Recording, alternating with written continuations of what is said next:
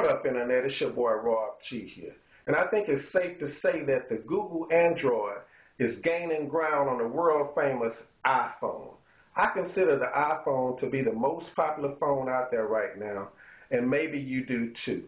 But recently in the news, it's been discovered that the iPhone, the iPad, and whatever else has the iOS iOS 4 technology in it is able to track your whereabouts.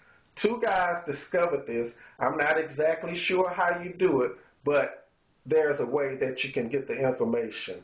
So my question to you is, how would you feel if a stranger, somebody that you didn't know, was able to get your information? That seems a little scary to me. Or it might not even bother you. Or is it a concern of yours?